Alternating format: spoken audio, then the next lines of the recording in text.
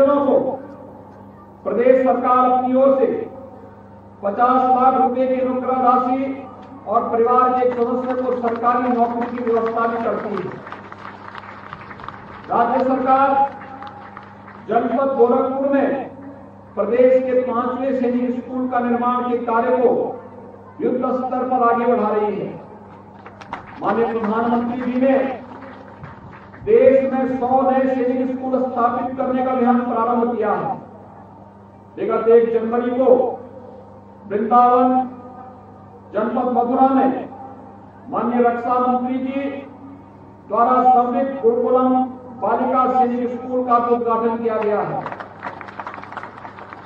आज युवाओं ने, युवाओं के लिए, सेना में शामिल होने के लिए कार्यक्रम आगे बढ़ रहे हैं। इक्कीसवीं सदी की चुनौतियों के अनुरूप वीर सपूतों के शिक्षण और प्रशिक्षण के लिए माननीय प्रधानमंत्री जी ने राष्ट्रीय रक्षा विश्वविद्यालय की स्थापना की है। राष्ट्रीय रक्षा विश्वविद्यालय अपना एक परिसर लखनऊ में प्रारंभ कर चुका है। अस्थायी भवन का निर्माण होने तक विश्वविद्यालय का अस्थायी कैंपस डॉक्टर शकुंतला मिश्रा राष्ट्रीय पुनर्वास विश्वविद्यालय में संचालित किया जा रहा है।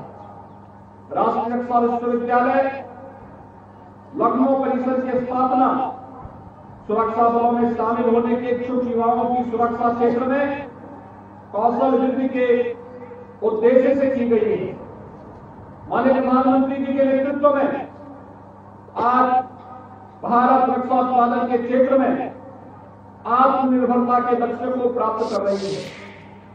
वर्ष 2018 में यूपी इन्वेस्टर समिट का शुभारंभ करते हुए माननीय प्रधानमंत्री जी ने उत्तर प्रदेश में डिफेंस इंडस्ट्रियल कॉरिडोर की स्थापना की घोषणा की थी। राज्य सरकार इस डिफेंस कॉरिडोर के निर्माण कार्य को तेज़ी के साथ आगे बढ़ा रही है। डिफेंस इंडस्ट्रियल कॉरिडोर के लखनऊ नोड में डीआरडीओ ब्रह्मोस का झांसी नोड में, भारत डायनेमिक्स लिमिटेड द्वारा दो महत्वपूर्ण परियोजनाएँ स्थापित की जा रही हैं। मार्च 2019 में माननीय प्रधानमंत्री जी ने जनपद अमेठी में भारत और रूस के संयुक्त उपक्रम Indo Russian rifle private limited को राष्ट्र को समर्पित किया था। उत्तर प्रदेश में एचईएल ऑर्डिनेंस फैक्ट्रिया भारत इलेक्ट्रॉनिक्स लिमिटेड आदि इकाइयाँ सेना की दृष्टि अत्यंत महत्वपूर्ण भूमिका का निर्वहन कर रही है। फरवरी 2020 में प्रदेश की राजधानी लखनऊ में डिफेंस एक्सपो 2020 का सफल आयोजन भी किया गया। इस अवसर पर डिफेंस कॉरिडोर में निवेश हुए हज़ारों करोड़ रुपए के प्रस्ताव उत्तर प्रदेश शासन को प्राप्त हुए हैं। डिफेंस कॉरिडोर जहाँ एक और रक्षा उत्पादन के क्षेत्र में माननीय प्रधानमंत्री जी के मेक इन इंडिया संकल्पना को साकार करने में महत्वपूर्ण योगदान देगा। वहीं दूसरी ओर, प्रदेश के युवाओं को व्यापक स्तर पर रोज़गार के अवसर भी सुलभ सुलभ कराएगा। ग्यारह गोरखा राइफल्स के अधिकारियों और जवानों और उनके परिवारजनों को प्लेटिनियम जुबली की ओर जुबली की इस सेरेमनी में एक बार पुनः हृदय से बधाई देता हूँ।